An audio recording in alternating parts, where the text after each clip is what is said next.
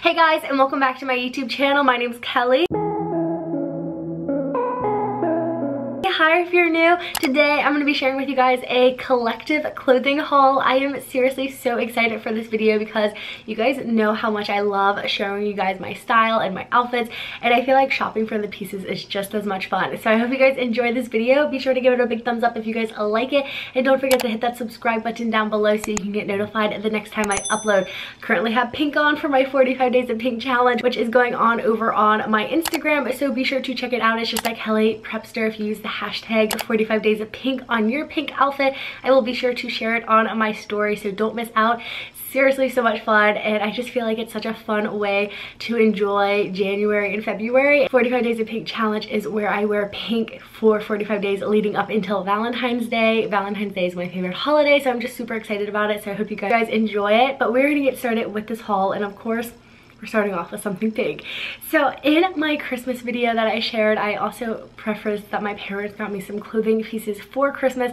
I didn't share them in that video because I wanted to share them in a clothing haul. So I don't know where everything is from, but I have the tags on them. The first thing I got was this big, chunky, hot pink sweater. And oh my gosh this reminds me of the Anthropologie sweater that's going around for like $300 it's from the brand So which I believe is from Kohl's. I'm not 100% sure on that but it is absolutely stunning. I wore it in my Christmas video. It's so cute. I love the color and it's gonna be perfect for my pink challenge. Then I also have my Fabletics outfit for the month of December. I never shared this with you guys. So first it came with these biker shorts so cute and so comfy.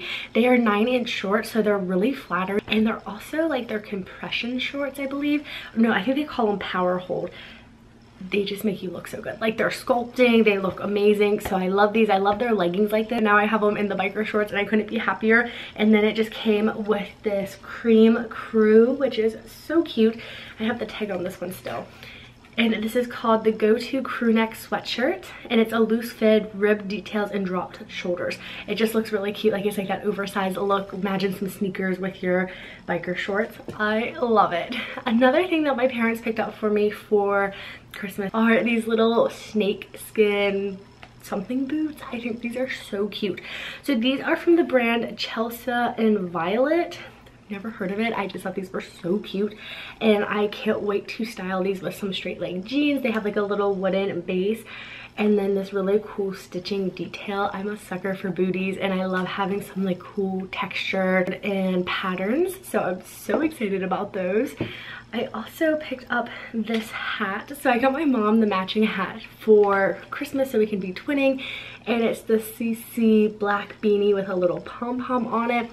It's so nice. I've never had one of these beanies before, but it's like insulated on the inside so it's so warm. I can't wait for a chilly day to break this out and wear it. I got another pink sweater and this one is so stinking cute. It's like a little mock turtleneck and it's like the lightest baby pink color and it has this ribbed sleeve detailing. And this is from the brand and tried and true. I got it in a size medium and it is just stunning. I love the light pink. I just feel like it's something different than what i already have and it's just so flattering with the cuts and all the rib detailing. I got another turtleneck and this one is similar to the pink one but a little bit different. And this is from the brand a new day which i believe is target. And it's just like this turtleneck and then look how cute this is. It has like stitching right here and then the little ribbed on the sleeve. Very cute. I love wearing this tan oatmeal color all winter long. And then i mentioned in my ootw that i picked out new jeans. I shared the first pair with you guys in that video.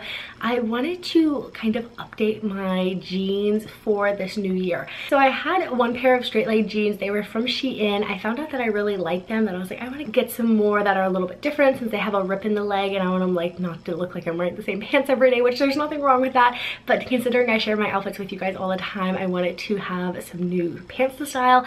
And I have a lot of skinny jeans. I'm keeping them in my closet. I just don't like feel as confident as I did when I was wearing them.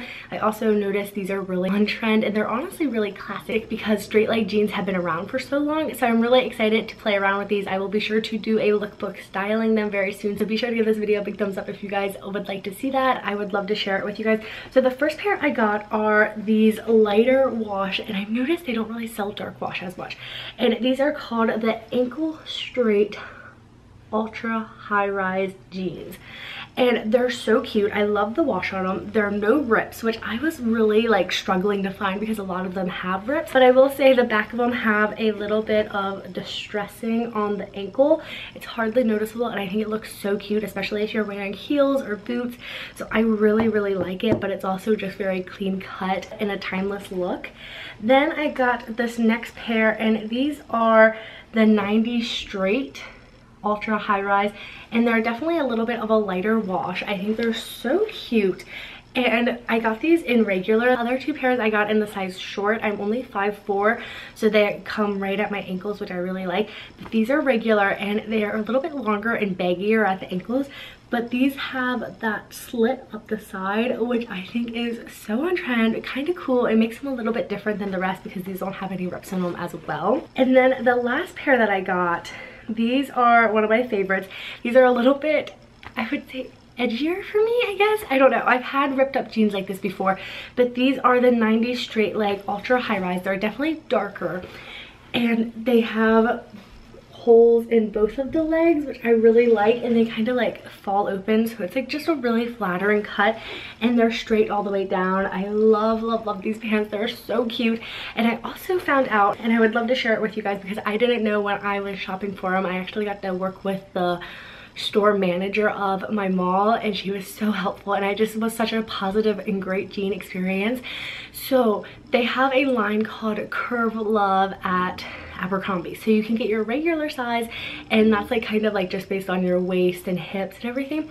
But they also have a line called Curve Love which is a little bit extra give in certain areas that girls can struggle with. So like a little bit bigger in one area. Like so example, if you have like a smaller waist and maybe bigger thighs, Curve Love is great because it adds that extra room.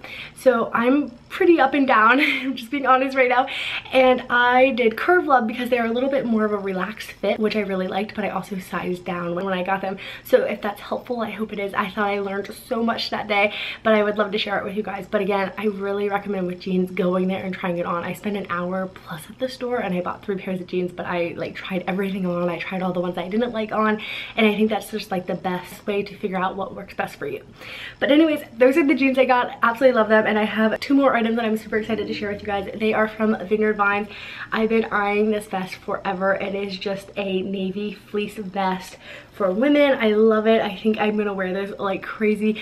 I love this because you could totally dress it up or dress it down since it's just fleece material and it's got like super cute little whale on the back which is adorable. And then the last thing I want to be sharing with you guys is this pullover that I got from Vineyard Vines. It's got like the little whale tag. I don't know if this is one of their Shep shirts. I'm a little lost on that, but it's got like dark sleeves and then the dark at the waistband.